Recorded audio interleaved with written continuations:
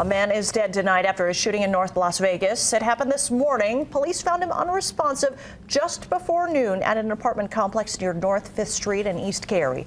Bridger Middle School and McCall Elementary had to be placed on a brief lockdown following the incident. Detectives believe this was an isolated incident.